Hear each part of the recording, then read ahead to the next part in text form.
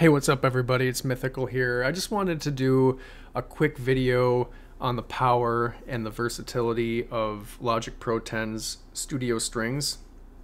I really think that this is an overshadowed and overlooked program um, in comparison to its rival orchestral instruments that you can buy third party, like from Spitfire, 8Dio, East West, Quantum Leap stuff.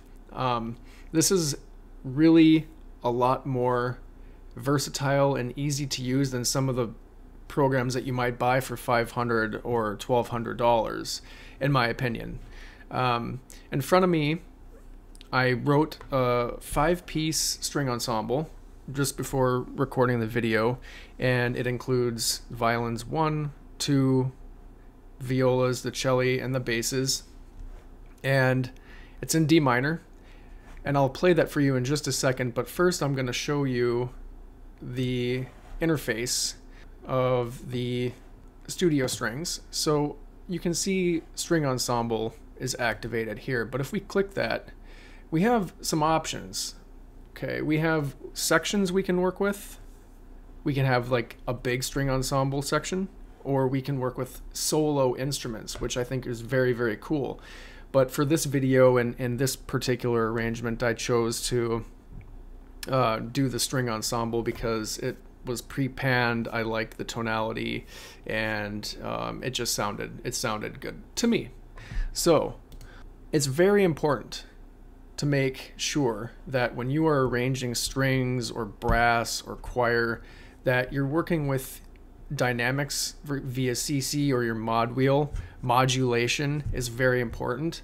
And in the in the case of strings, you want to think about how the strings and the players are going to manipulate their instruments. So in a bowed instrument, you're going to want to try to emulate how they play naturally in in an orchestra. And I'll show you I'll show you that with the modulation automation that Logic has.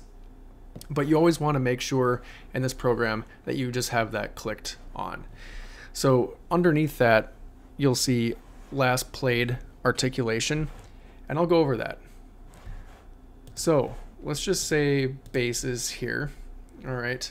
So you'll see that if we double click on basses, we're going to have an articulation drop down menu. And that needs to be activated underneath the track drop down and articulation set and I have the string ensemble patch loaded so that's what I chose. And what this does is within the track you can change your articulation at the drop of a hat with whatever you want. So it gives you options of sustained staccato spiccato accented st- sustains tremolo trills etc very very handy for changing the articulation whenever you want, however you want, and making it sound even more natural.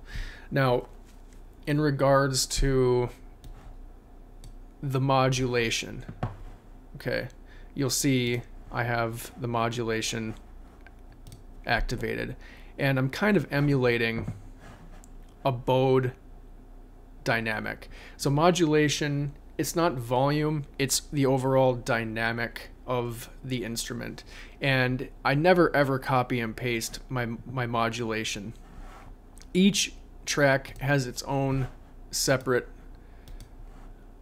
modulation, and that gives it even more realism and more um, dynamic and even a lot more control over how intense you want your orchestra to sound. So you can see that every single track is different and it's very important to kind of keep in mind especially these these violins I have.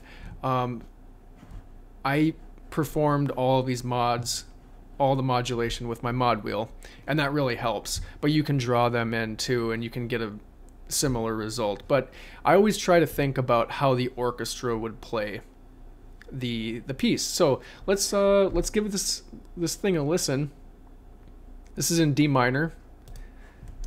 And let's start with violins 1.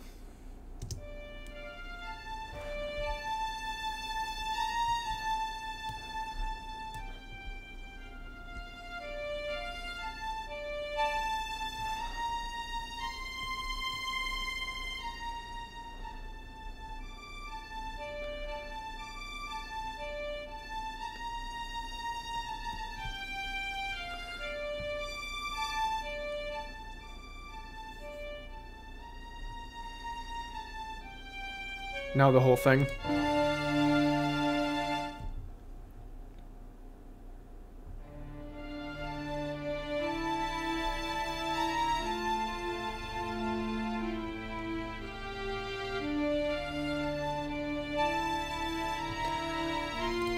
So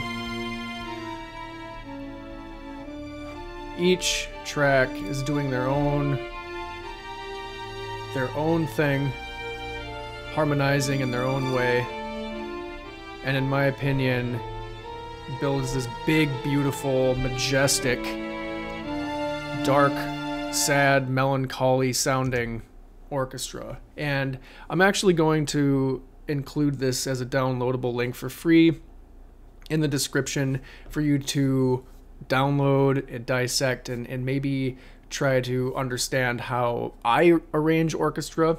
Um, this is what to me sounds very, very natural, and um, I think it'll be of great help to especially those that are just beginning with orchestral programming because it's very nebulous and there's a lot of information out there and it's hard to begin to understand how to do an appropriate arrangement. So I'm gonna include that as a downloadable link. And don't forget to watch my sidechain reverb video. Uh, that will really come in handy with some of the post processing with the with the strings.